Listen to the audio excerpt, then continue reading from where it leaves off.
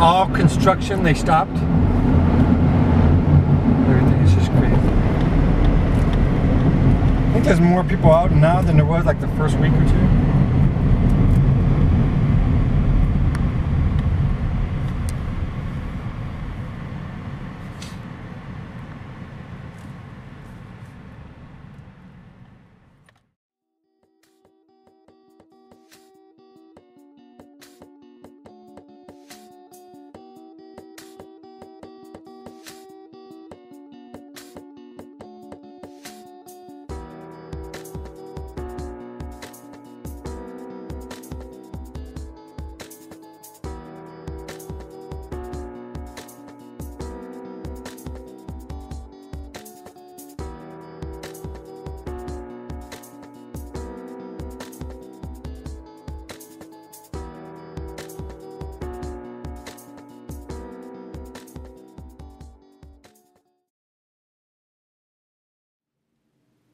The COVID 19 pandemic, also known as the coronavirus pandemic, is an ongoing pandemic of coronavirus disease 2019, which is caused by severe acute respiratory syndrome coronavirus 2. The outbreak was identified in Wuhan, China in December 2019. Since then, the World Health Organization declared the outbreak a public health emergency of international concern on January 30th and a pandemic on March 11th. Multiple countries and territories have instilled lockdown or shelter in place protocols since around March 2020. California is one of the selected states within the United States of America that has been on lockdown since March 19, 2020. One of the state's many hotspots for the spread of coronavirus is Santa Clara County.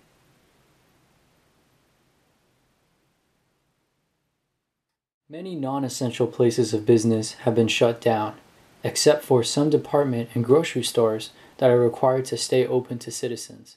Citizens have been encouraged to stay home and travel only when necessary for food and supplies. Keeping up with daily exercise is encouraged so as to maintain a healthy lifestyle in all aspects ranging from mental to physical needs. Two weeks into the Santa Clara County, California lockdown of March 19th, many public parks were closed off and shut down for use as a preventative measure for increasing cases of coronavirus.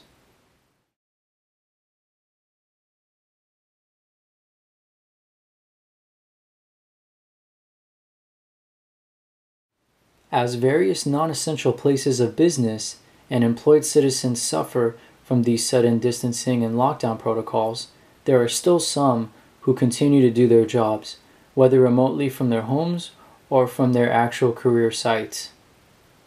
These people and their positions have been deemed essential to the county in maintaining care and order of necessary aspects of society during the current pandemic. My name is Rina Magana and I'm a pharmacy technician at Kaiser Permanente. Basically assist pharmacists in all their job duties. Um, I translate prescriptions, I fill prescriptions, I restock all the boxes to make sure we have medication. I call doctors for um, refills. Patients have questions regarding their medications. We also email doctors and answer phone calls. Each patient, before they come into our building, their temperature's taken, they use hand sanitizers, they are given masks if they don't have their own mask. Um, our pharmacy has um, put up um, plexiglass in front of all the registers. Um, we have alcohol uh, ready for us to use to our workstations. Every time we start a new workstation, we wipe down our stations with alcohol. We are wearing masks, and if you would like to wear gloves, you're also allowed to wear gloves. And we are do we are practicing social distancing in the back. We only go out for essentials, but we are trying to keep a normal life by going for walks, getting some fresh air, um, doing some kind of exercise video, um, maintaining, maybe watching a show together, um, socializing with each other.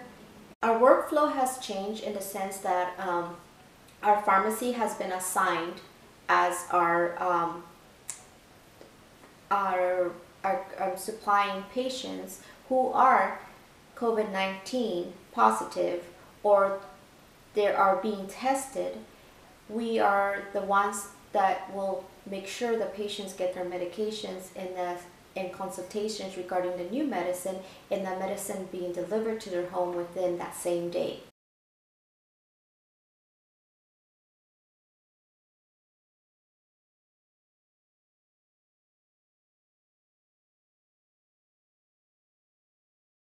My name is Richard Ramirez. I am a trade supervisor for Public Works City of San Jose. I've been working with the city for 22 and a half years, trade supervisor for five years. A trade supervisor is responsible uh, for the trade staff, which includes carpenters, plumbers, locksmith, painters, and warehouse and mailroom staff for citywide services. Uh, we are responsible for maintaining uh, by way of uh, preventative maintenance, repairs, and uh, annual services at all city-owned facilities such as fire stations, police department, police buildings, uh, libraries, community centers, park restrooms, any facility that is city owned on city property.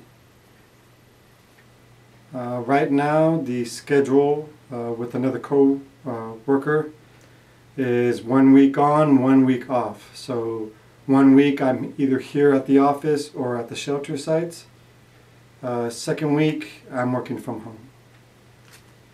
A lot of the essential employees can work from home and are working from home and some of the non-essential employees are on admin leave. So a lot less employees here at the central service yard and the office space.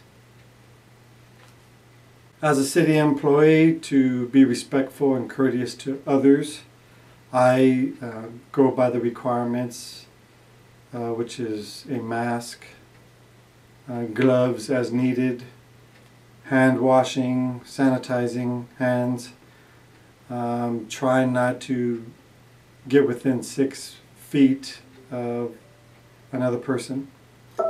Um, basically adhering to the uh, guidelines for COVID-19. At home, basically the same deal. We have a lot of children at home. We have them washing their hands. We're cleaning up a lot more. We've stocked up on cleaning supplies. So we're, we're doing our part, we're being diligent. A majority of the city facilities have closed due to the shelter in place order. The emergency measures for COVID-19 include the setup of various shelter sites for the homeless so they can exercise social distancing. So my efforts changed from maintaining over 400 facilities on a day-to-day -day basis to uh, standing up and ensuring proper operation for the next three to six months of six shelter sites. There are six shelter sites. Two have a maximum occupancy of 30. Um, the third has one of 50. There's one that has an occupancy of 80. Uh, there's a large tent uh, at the convention center which holds up to 300 people. And the last is a uh, makeshift RV park which consists of 105 RV trailers. You know, they're given a cot with bedding, um, their own personal space with storage. They can bring in their personal belongings and keep them in their areas. Um, while they are at the site, food is served for them. There are restroom, shower, laundry facilities. Um, there's a lot of uh, mutual aid, which consists of county programs, nonprofit organizations that arrive on site to help deliver the food. Uh, Valley Medical provides medical services, examinations, checkups, uh, vaccinations, um, and then referrals to Valley Medical Hospital if necessary. Uh, there's also counseling. Um, whatever type of service you can think that a homeless person might need are available at the shelter sites. So resources were definitely a challenge to gather and to set up on a on an ongoing basis. Um, not to mention the pandemic uh, that we're going through, COVID 19, which is a social distancing um, situation. So try to imagine getting a crew together to perform these services on site with other groups while trying to maintain social distancing. There's the fear of this virus, there's the fear of uh, contracting it while performing duties, working with others, and then bringing in the homeless. Um, there's, you know, question marks there. So it, it brings a fear out of the unknown. Um, that's a challenge in itself.